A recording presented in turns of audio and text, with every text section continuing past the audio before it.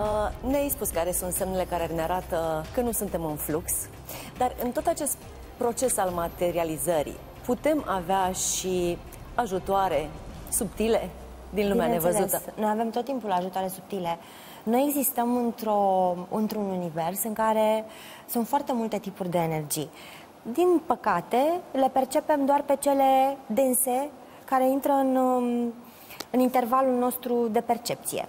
Asta este singura noastră problemă. Și din cauza aceasta, pentru că uh, ne bazăm pe... Uh, suntem aliniați la acea convingere conform căreia eu cred doar ceea ce văd, respingem de multe ori existența altor conștiințe uh, care ar putea să fie parte din creație, dar nu neapărat într-o formă fizică atât de densă precum uh, suntem noi. Și, într-adevăr, um, există călăuze pe care noi le avem, am auzit cu toții despre îngeri păzitori, uh, există de asemenea spiritele naturii despre care am auzit foarte mult și care nu sunt mituri. De altfel, dacă vorbim despre materializare, uh, spiritele naturii, naturii sunt experți în materializare, pentru că um, ele nu sunt acele ființe mici și cu uh, barbă mică, Cum le-am văzut noi, da. pitit și cu căciuliță pe cap uh, și cu botoșei mari, cu bocăncei mari, ci sunt niște forțe care creează această realitate în care noi trăim și o mențin. Deci dacă vrei să spunem să ai un ajutor practic în manifestare, spiritele naturii, de fapt, sunt cele mai importante. Hai să vedem, cum lucrăm cu aceste uh, spirite ale naturii? Spiritele naturii sunt foarte apropiate de om, sunt foarte apropiate de energiile noastre, dar ele funcționează, și aici mă refer la gnomi, spiriduși, zâne, dragoni, tot felul de elementali. Mai sunt cunoscuți ca elementali, uh-huh. pentru că această planetă este creată din patru elemente importante, apă, a, importante, apă, aer, pământ și foc. Deci faptul că aceste elemente creează ne ajută să înțelegem și faptul că aceste conștiințe care lucrează cu elementele acestea, de fapt creează deci sunt spiritele acestor elemente, practic. Da, sau sunt spirite care au în construcția lor mai degrabă uh-huh. aceste elemente și dau o amprentă acestei realități. Noi avem în compoziția noastră apă, aer, pământ și foc. Și așa mai departe. Acum, ele sunt foarte apropiate de noi, dar fac parte din natură. Că de aceea le și numim, să spunem, spirite ale naturii. Și spuneam mai devreme că natura este un maestru al echilibrului. Cunoaște uh, starea de echilibru și starea de dezechilibru. Întotdeauna natura va ști să aducă echilibru într-o situație dezechilibrată. Și atunci aceste conștiințe care sunt parte din ea vor lucra cu tine doar dacă te vei alinia la un echilibru divin.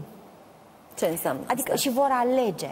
Cu alte cuvinte, uh, eu îți cer ceva, da? dar și ofer.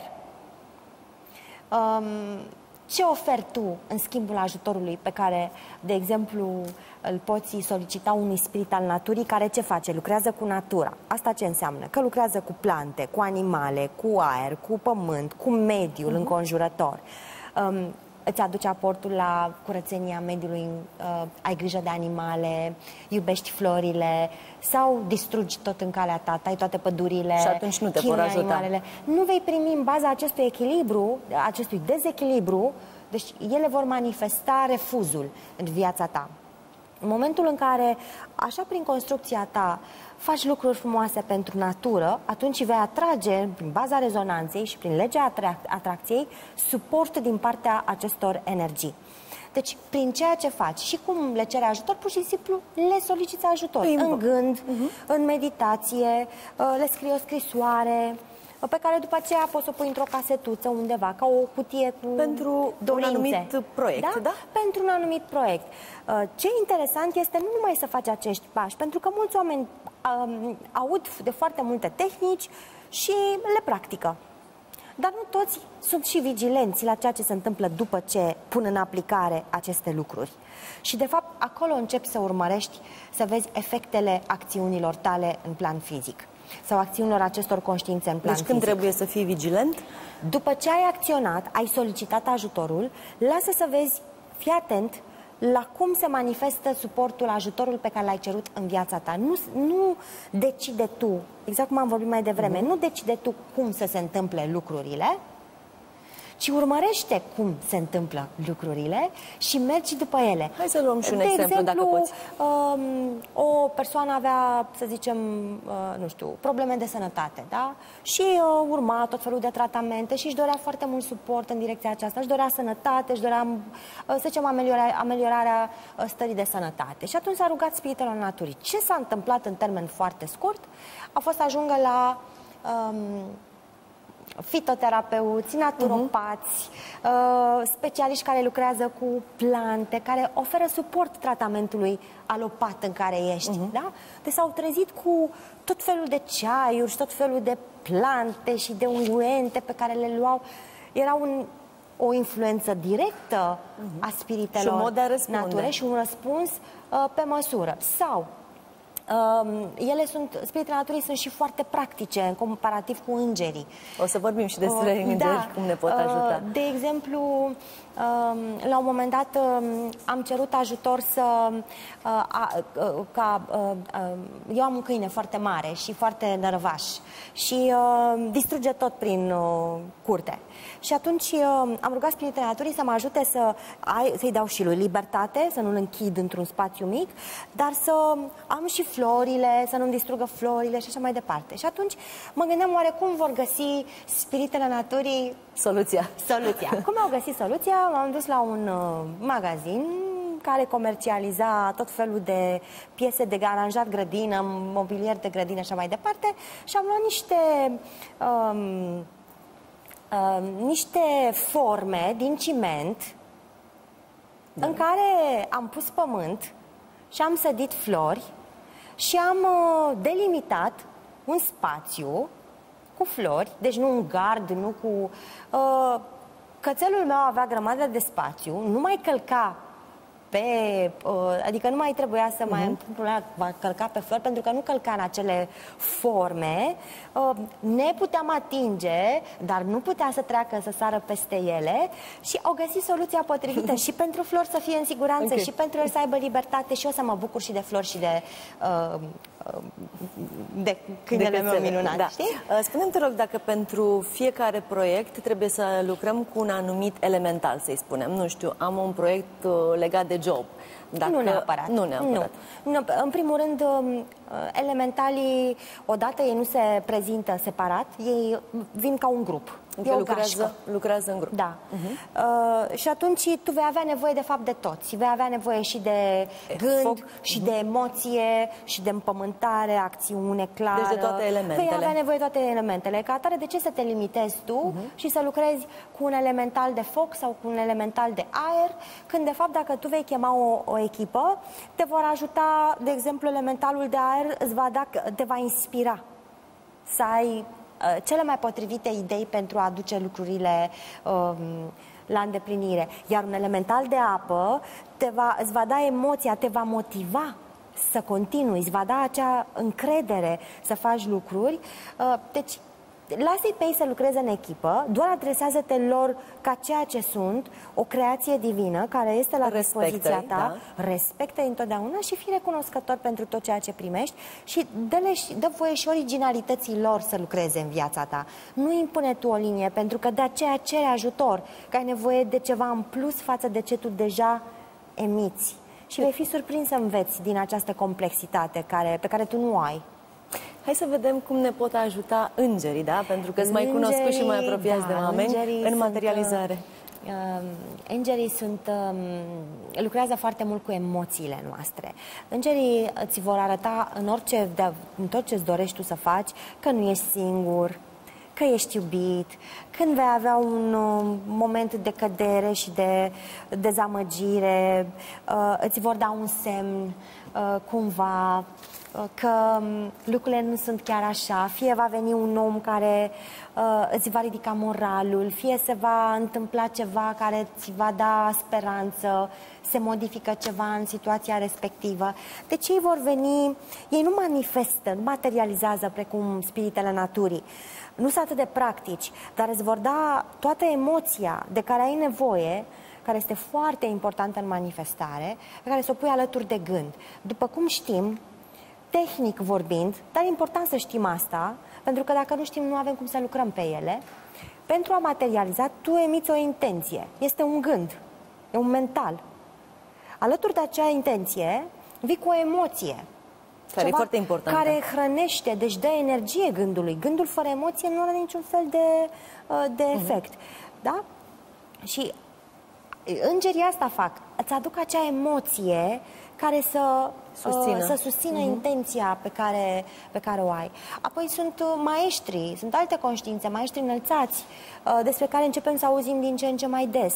Care Cine sunt, acest, sunt conștiințe maestri? care au fost ca noi, au avut multe, multe întrupări pe planeta Pământ, până au ajuns să descopere regulile acestei realități și să le maestrească. În acel moment, exact ca la școală, când ai terminat liceul, ai învățat tot ce se putea învăța în timpul liceului, ești pregătit să mergi la facultate, să faci un pas mai departe.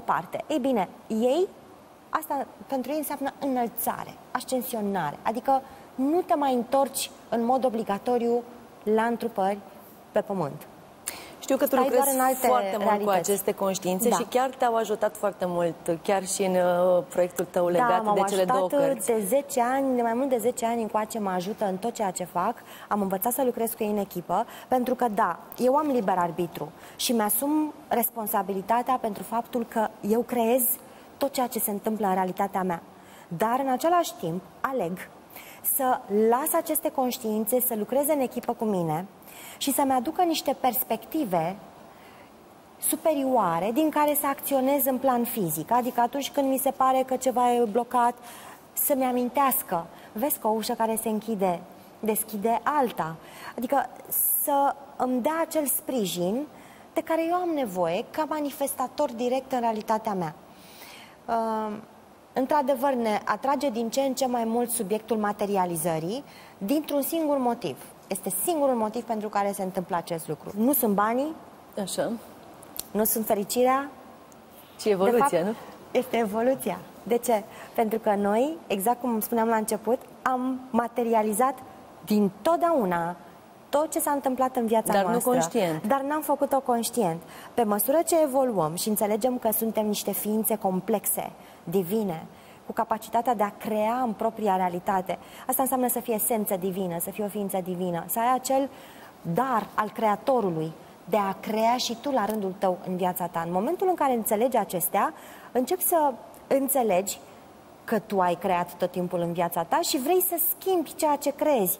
Adică dacă tot crezi eu tot ce se întâmplă în viața mea. Hai să o crezi conștient. Vreau să fac lucruri care îmi plac, adică să nu mai creez haotic și vreau să înțeleg ce influențează procesul de materializare. Și de aici vine acest interes extraordinar al nostru, de fapt, de această nevoie a energiilor noastre de a înțelege cum materializăm, care sunt secretele, dar acestea sunt întotdeauna doar niște repere pe care dacă nu le practicăm, nu acordăm timp uh-huh. și nu avem răbdare cu noi, nu vom reuși să le facem. Deci ca să materializezi conștient un proiect, trebuie să lucrezi cu energiile tale, trebuie să lucrezi... Trebuie să te cunoști. Să lucrezi cu subconștientul tău, să trebuie să ai o anumită vibrație și așa mai departe. Da. da. Dar vreau să te întreb, sunt și oameni uh, cu intenții foarte joase și da. cu o vibrație foarte joasă da. și care manifestă și materializează foarte ușor. Cum se întâmplă? Pentru că ei au încredere. Ei au încredere că pot să o facă. Consideră că merită nu au niciun fel de probleme. Într-adevăr, sunt aliniați la alte valori, uh-huh. da? și ca atare nu au frici, nu au temeri. Te întreb pentru au... că îmi spunea cineva da. care mergea de foarte mult timp la uh-huh. foarte multe cursuri să învețe uh-huh. tehnici de da.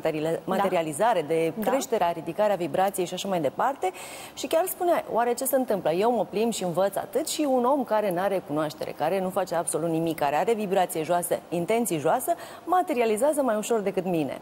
În primul rând că nu activează, tu în momentul în care înțelegi că îți creezi propria realitate, îți dai seama ce potențial extraordinar ai, dar în același timp îți activezi grămadă de frici. Dacă, nu voi, dacă voi manifesta ceea ce nu trebuie, dacă o să se întâmple nu știu ce, nu, apoi apare neîncrederea, nu, eu nu pot să fac, pentru că încep să te uiți în jurul tău și vezi oameni care manifestă extraordinar de frumos niște lucruri extraordinare uh-huh. în viața ta și ai tendința să spui, eu nu cred că pot să fac asta. Știi? Apare acea neîncredere. Deci, odată cu a înțelege ce potențial ai, apar și fricile, um, temerile, limitările pe care de fapt ți le pui singur. Și convingerile și, din subconștient. Exact. Apoi tu încerci să fii cât de corect posibil. Într-adevăr, în această realitate este o regulă în manifestare care spune respectă regulile realității în care ești.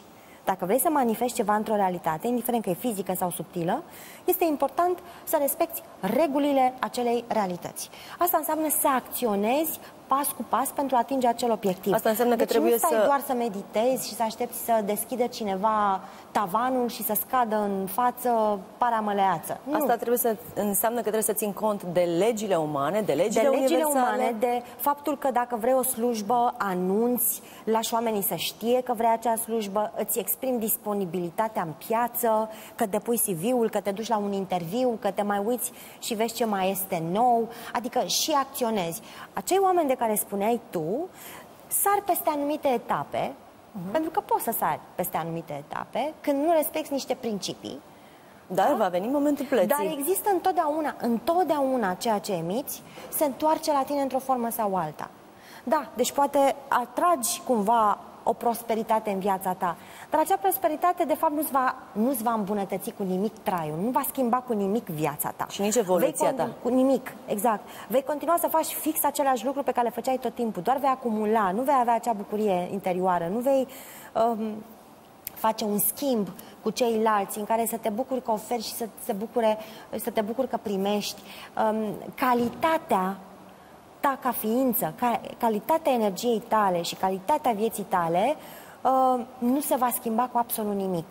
Deci nu va conta, de fapt, rezultatul. Și, și pentru că ai spus tu că, de fapt, uh, scopul suprem al materializării, dincolo de prosperitate, abundență și așa mai departe, este evoluția, mm-hmm. da? Uh, este sensul pentru care noi am venit în această întrupare. Și așa vreau da. să introduc următorul subiect pe care vreau să-l abordăm uh, cât ne-a mai rămas din emisiune. Uh, scopul sufletului pe pământ. Știm, de vreo 10 ani și ceva, aud această întrebare foarte des. Care este scopul meu pe pământ? Mm-hmm. Care este motivul Fiecare pentru care... om cred că se întreabă. M-am întrupat. Um, noi nu avem un singur scop. Noi avem o carte așa de groasă, cu multe, multe, multe obiective care țin de foarte multe lucruri și cred că am mai vorbit despre asta. Um, să învăț mai multe despre mine, să mă cunosc, um, aspecte karmice de echilibrat, lecții pe care nu le-am înțeles. Uh, de exemplu, uh, lecția modestiei poate să fie o lecție foarte importantă, te ajută foarte mult mai târziu. Curajul de a schimba lucruri, curajul de a ieși din situații care nu te ajută. E bine, sunt tot felul de obiective care sunt în această carte mare. Și Toate... pe care nu trebuie să le uh, atingi într-o singură întrupare. Nu, nu este obligatoriu, pentru că tu ai liber arbitru.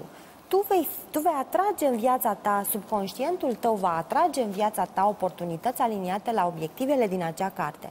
Dar tu, ai un, tu conștientul, ai un liber arbitru.